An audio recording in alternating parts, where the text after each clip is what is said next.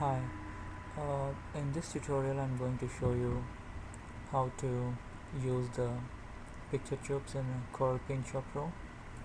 So this is the picture I'm going to use for the tutorial. Let's zoom out this picture. So the picture tube is found here. The little icon here, the picture tube tool. Click on it and if you see here you'll find uh, a list of uh, the picture tubes in your uh, computer. So these are the preloaded picture tubes you'll find in uh, Corel Paint Shop Pro and quite a few here. Those are the tubes I've made for myself. So if you want to use these picture tubes on your one of your editing pictures you just need to click on them and put it out there. It's as simple as that. But what if you want to move this tube? Let's click on the pick tube but you see this is the problem. When I click on the uh, pick tool it selects the whole picture but not the tube I want. So for that get back to the few steps. So press ctrl Z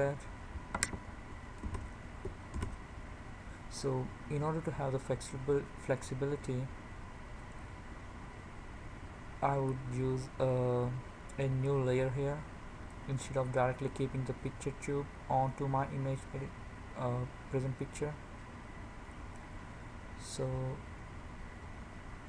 right click on here and uh, select a new raster layer. Rename this one as a picture tube. And click OK. Now go to the picture tube tool and select select any of the picture tubes in the in the list. Let's say you get select this one. Click on here. Click on here. See changes. So we have uh, different kinds of butterflies. Let's do like this. That's nice. Let's control Z. Okay now I've got uh, one butterfly here. And if you want to pick that one just click on the pick tool and there it is. You got the nice uh, pick tool option here and now you can either increase the size or decrease the size. If you can even rotate the picture tube in whatever the direction you want.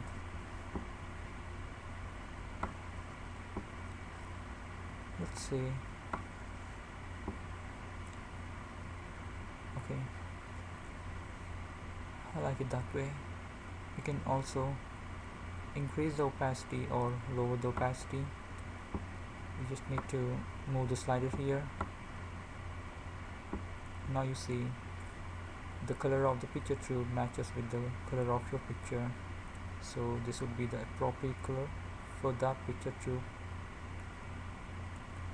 and now once you're done with everything of your picture tube you would need to merge these two layers here.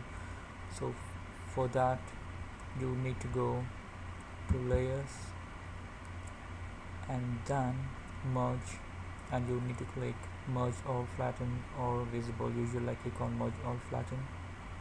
Before I do that let me put some more picture tubes here. I click on picture tube and I select the bird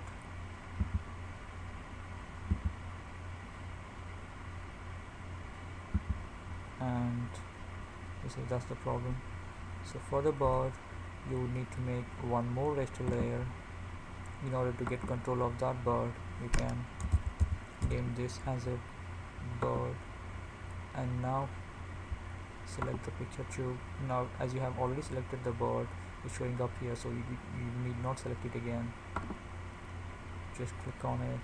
So these are the different kinds of birds and you can adjust opacity and kind of like that way. And now click on layers go to merge click on flatten or all visible. Now this has become a single picture. Okay? Now you can save this picture. Click file save as and make sure that uh, you've got uh, whatever the option you want like I usually prefer JPEG format. Name it happy Halloween 2 and save. And whatever it appears here you can just click yes. That's it. So this is all about picture tubes thank you guys